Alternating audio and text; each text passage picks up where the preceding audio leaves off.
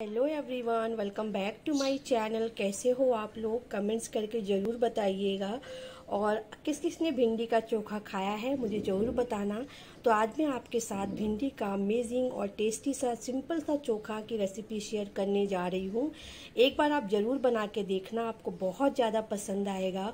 और गर्मियों के लिए तो बहुत ही ज़्यादा मज़ेदार रेसिपी है, अगर आप हेल्दी खाना चाहते हो तो। तो चलिए फटाफट से हम भिंडी का ये चोखा की रेसिपी देखते हैं। और रेसिपी पूरी देखिएगा, तभी आपको अच्छा लगेगा और ट्रस्ट में बहुत ज़्यादा टेस्टी है। तो चलिए फटाफट से रेसिपी देखते हैं।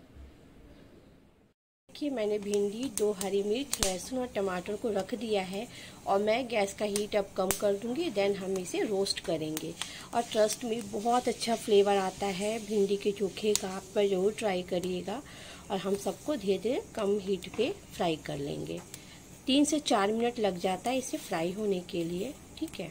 सबको हम उलट पुलट करके फ्राई कर लेंगे। तो फ्रेंड्स मिर्ची जो है वो जल्दी फ्राई हो जाती है तो आप इसे निकाल लीजिएगा। इसे ज़्यादा देर मत रखिएगा। और ये देखिए अच्छा सा इसमें कलर भी आ गया है और अच्छे से रोस्ट हो गई है और लहसुन हमारा हो रहा है और भिंडी भी हमारा धीरे धीरे हो रहा है। ठीक है? तो इसे हम कर लेंगे और मिर्ची को हम हटा लेते हैं क्योंकि अच्छे से हो गया है ये। ठीक है? बाकी को हम रोस्ट कर लेते हैं। तो ये देखिए फ्रेंड्स, हमारी जो भिंडी है ना, वो अच्छे से देखिए रोस्ट हो गई है। इसी तरीके से हमें चाहिए और ये अच्छे से सॉफ्ट भी हो गई है। तो चलिए हम इसका चोखा लगाते हैं। सबको हम निकाल लेते हैं।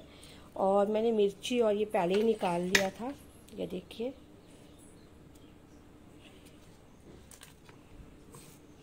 तो ये देखिए हमारा देखिए फ्रेंड्स मैंने टमाटर को भी छिल लिया है, लहसुन भी अच्छे से छिला गया मिर्ची भी रोस्ट हो गई, भिंडी भी रोस्ट हो गया। अब ये जो टिप है ना, इसको हम निकाल लेंगे चोखा लगाते समय। और इधर प्याज भी देखिए, मैंने कट करके रख लिया है। ये ज़्यादा है, मैं दो रेसिपी मुझसे यूज़ करना है। तो चलिए फटाफट से चोखा लगाते हैं अब हम। तो ये देखिए, मैंने इसमें ना लहसुन और हरी मिर्च नमक डाल दिया है। अगर आपके पास पत्थर वाला हो ना तो और अच्छी उसमें चोखा बनती है, नहीं तो सिलबट्टे में आप बना सकते हो। बट इसी में आप करिएगा, बहुत अच्छा टेस्ट आता है तो इसे हमें कूट लेना है। मिर्च को, लहसुन को और इसको नमक को। देखिए मेरा लहसुन, हरी मिर्च और नमक कुट गया। तो इतना ज़्यादा टेस्टी होता है ना, ये भुने हुए लहसुन की चटनी। आप इसे ऐसे भी खाएँगे ना, बहुत ज़्यादा टेस्टी लगेगा। अब इसमें मैं टमाटर डाल दूँगी, कट करके। जो टमाटर मैंने छिल लिया है ना, इसको कट करके इसमें डाल दूँगी, ठीक है?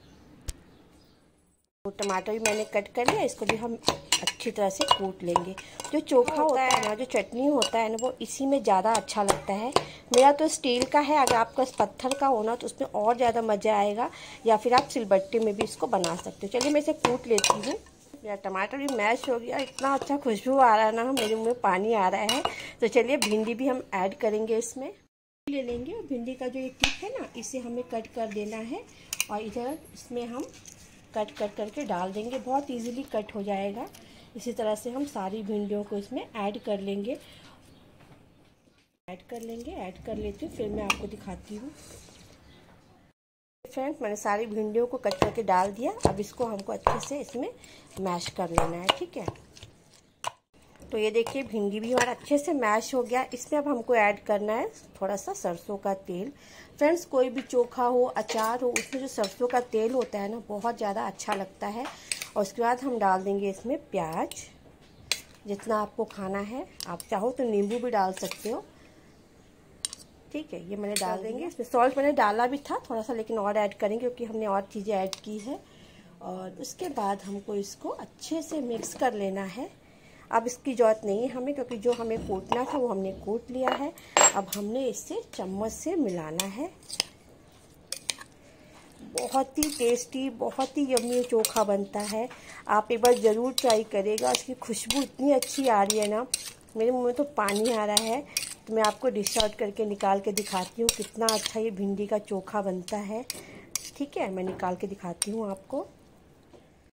सो so फ्रेंड्स ये देखिए, हमारा यम्मी सा भिंडी का चोखा रेडी हो गया है। बहुत ही ज़्यादा यम्मी और बहुत ही ज़्यादा डिलीशियस है तो आप इस चोखे को एक बार ज़रूर ट्राई करिएगा। इसे आप रोटी से, पराठे से, चावल दाल से, किसी से भी इंजॉय करो, बहुत ज़्यादा अमेजिंग लगता है। तो प्लीज़ अगर आपने नहीं बनाया तो ज़रूर ट्राई करिएगा। रेसिपी कैसी लगी, ज़रूर बताइएगा। कल फिर मिलेंगे नए वीडियोज़ के साथ। Thank you so much for watching my videos bye bye